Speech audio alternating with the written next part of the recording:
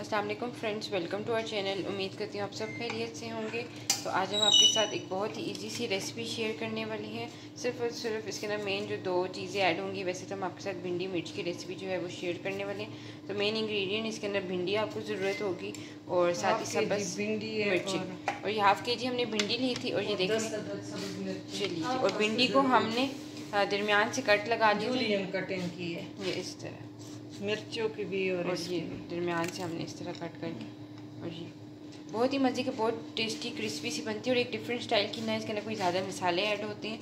ज़रूर ट्राई करिएगा और इजी इजी सी रेसिपी हम आप लोग के साथ शेयर करते हैं। तो ये हमने मिर्ची और भिंडियाँ जो थी वो साइड पे कट करके रख ली हैं। तो हमने पैन के अंदर ऑयल ऐड कर लिया था। ऑयल हमारे पास कितना था?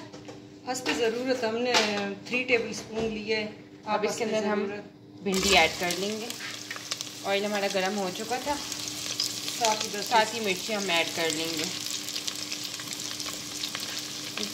बहुत ही मज़े की बहुत ही जल्दी से रेडी होने वाली ये रेसिपी साथ साथ आप गर्म गर्म रोटी बनाएँ और साथ ही भिंडी। रोटी के साथ ये बहुत टेस्टी लगती है। अब देखिए कितना प्यारा इसका खिला खिला कलर आता है। इसको अब हम जो है थोड़ा सा पका लेंगे। थोड़ा सा नहीं पकाएँगे। हम्म। पूरा गोल्डन तलेंगे। अच्छा गोल्डन तलेंगे। हम्म। फ्रेंड्स जैसे कि आप देख रहे हैं हमारा भिंडी जो है वो गोल्डन होने वाली है। अब हम इसमें डालेंगे। इसका। जी। तो अब हम इसके अंदर नमक डाल रहे हैं। हंस पे ज़रूरत आपने हमने वन टीस्पून डाला है। तो बस इसमें यही चीज़ें डालेंगे। इसका ऐड हो रहा है वो है नमक। और आप एक दफ़ा ये ट्राई करें एक साइड पे ये बनाएँ एक साइड पे तंदूर की रोटी लगाएँ। बहुत ही बहुत टेस्टी होती है।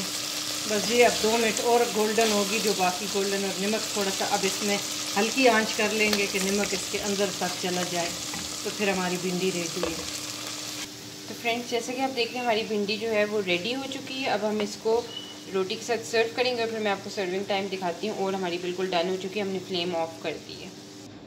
तो फ्रेंड्स जैसा कि आप देख रहे हैं कि हमारी भिंडी जो है वो बिल्कुल रेडी हो चुकी है और हमने रोटी के साथ इसको सर्व कर लिए ज़रूर ट्राई करिएगा। बहुत ही झटपट से बनने वाली ये रेसिपी और बहुत ही मज़े की लगती है चपाती, तंदूर की रोटी के साथ आप खाएँ, उसके साथ आप प्याज खाएँ तो आपको बहुत ही मज़े का टेस्ट आएगा। तो ज़रूर ट्राई करिएगा और हमें कॉमेंट से बताइएगा झटपट सी रेसिपी आपको कैसी लगी। Thank you for watching